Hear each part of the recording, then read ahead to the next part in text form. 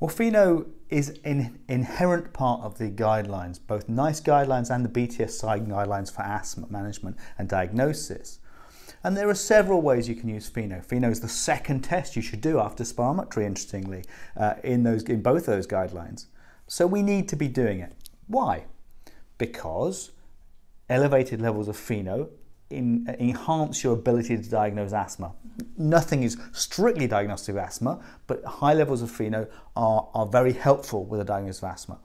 And more importantly, high levels of FeNO are very predictive of response to inhaled corticosteroids. So if someone comes with symptoms, cough, wheeze, variable breathlessness, the classic symptoms of asthma, and they've got a high level of FeNO, you can have a high level of suspicion they really have got asthma, and also, and it's really important for the patients, a high level of confidence that they'll respond to treatment. So we use it in that way.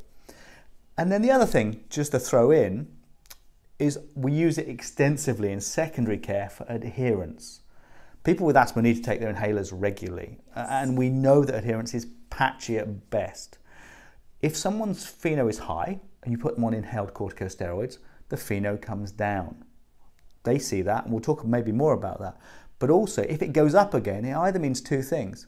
One is their disease has got worse and they're having a, a worsening attack, or it means they're not taking their treatment. And so you can then make an, an informed uh, clinical judgment, putting it together with examination and other things to see what's really going on here. And patients really love it too.